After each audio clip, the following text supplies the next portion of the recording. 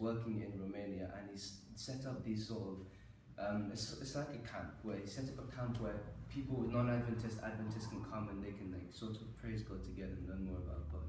And in this camp, one of the people that came is the principal of a, te- of a school, and this teacher is really against sort of any sort of spiritual things. So when it comes to the camp itself, she she really doesn't like the fact that everybody can pray freely. Like she doesn't join the kids when it comes to prayers for before meals. She sort of goes off on her own.